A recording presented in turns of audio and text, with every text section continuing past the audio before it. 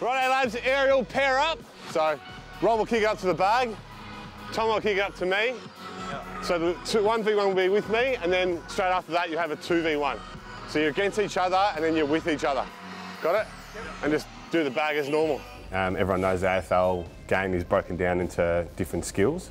Um, so we have one session a week at the club where we just focus on the fundamentals of football, um, whether that's marking, goal kicking, um, kicking, handballing. Well, Mark, this gave me a coffee. All right, you got it, I got him down. No, you haven't.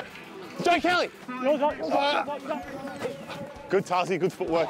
Oh, nice footwork, big guy.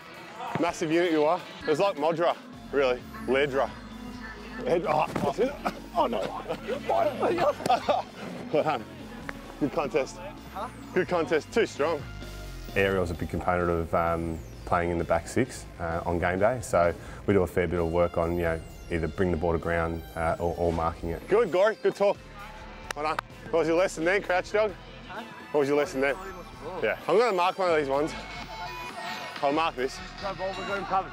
Don't, oh, that's a free kick! You can't do that.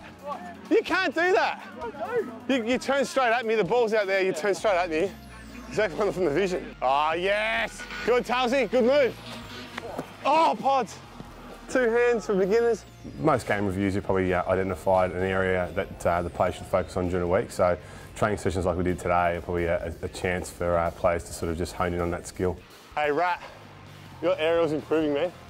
Really good. Really good, loving it. Love your footwork and stuff. Righty, minions. What do you got? Let's go, Butch, you get up. Oh, yeah. Oh, no. Ah, ah, ah. Well done, man. Good aerial today.